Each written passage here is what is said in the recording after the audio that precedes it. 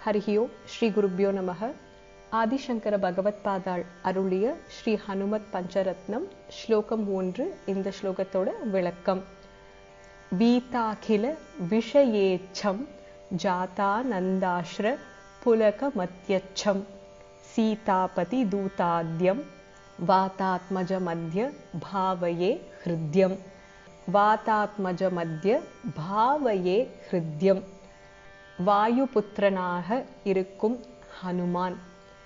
அந்த ஹனுமனை என்னுடைய ஹிருதயத்தில் வைத்து நான் தியானிக்கிறேன். அப்படிப்பட்ட பக்தி பாவத்தை நான் உணர்கிறேன். எப்படிப்பட்ட ஹனுமான்? வீதாகில விஷயேச்சம் ஜாதானந்தாஸ்ர புலக மத்தியச்சம் எல்லா விஷயங்கள்லையும் இந்த உலகத்துல இருக்கிறவா எல்லாருக்குமே ஒரு விதமான ஆசை இச்சை காமம் போக்த நிலை அப்படிங்கிறது இருக்கும். அப்படிப்பட்ட எந்த விதமான இச்சைகளோ ஆசைகளோ இல்லாத ஹனுமான்.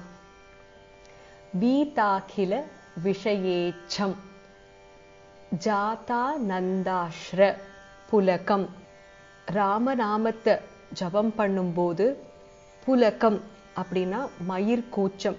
பக்தியை வர்ணிக்கும் போது ராமநாமத்தை கேட்டு யாருக்கு மயிர் கூச்சம் ஏற்படுறதோ அதாவது கூஸ்பம்ஸ் யாரோட கண்லேந்து ஜலம் வரதோ அங்கதான் ஸ்ரத்தையான பக்தி இருக்குன்னு அர்த்தம்னு சொல்லுவா.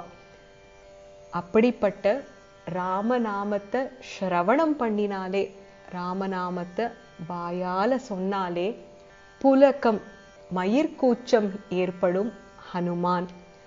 ஜாதானந்தாஸ்ர புலகம் அப்பேற்பட்ட பக்தி ஹனுமானுக்கு ராமர் மேல. ராமன் மேல பக்தி இருக்கிறதுனால ஹனுமான் கிட்ட காமன் வரவே முடியாது. அதனால தான் பீதாகில விஷயேச்சம். எந்த விதமான ஆசைகளும் இல்லாம முழுமையான புலன் அடக்கத்தோட control of senses control of mind இதோட ஹனுமானால இருக்க முடியறது.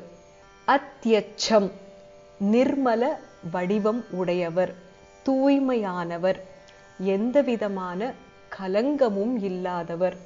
உலகத்திலேயே எது சுத்தமோ அந்த சுத்தமான ஒரு வஸ்துவை நம்ம எடுத்துட்டோம்னா அதை காட்டிலும் சுத்தம் அதாவது பியோரஸ்ட் ஆஃப் த பியோர் அத் எச்சம். சீதாபதி தூதாத்யம் வாதாத்மஜமத்ய பாவையே ஹிருத்யம். சீதாபதி தூதாத்யம் சீதாபதி.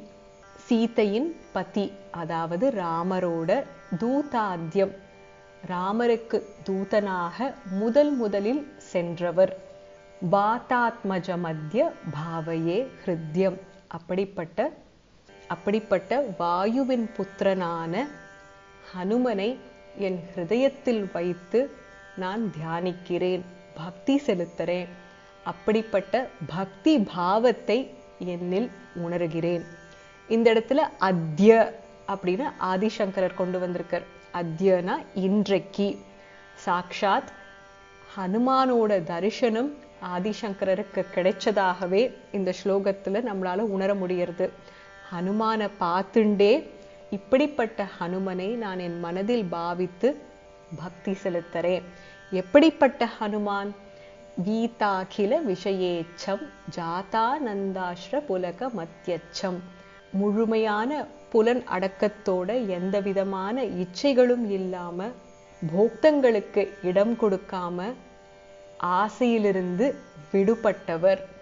ராமநாமத்தை ஜபம் பண்ணும்போது ஆனந்த கண்ணீரோட மயிர் கூச்சத்தோட ஆழ்ந்த பக்தியை செலுத்தும் ஹனுமான். மிகவும் நிர்மல வடிவமான தூய்மையான வடிவம் உடைய ஹனுமார். சீதாபதி தூதாத்யம் வாதாத்மஜமத்ய பாவையே ஹிருத்யம் சீதையின் பதி ராமனுக்கு முதல் தூதுவனாக இருந்த ஹனுமான் அப்படிப்பட்ட ஹனுமானை என் மனதில் தியானிக்கிறேன். இது முதல் ஸ்லோகத்தோட விளக்கம். சர்வம் கிருஷ்ணார்ப்பணமஸ்து ஹரிஹி ஓம். தத்சத்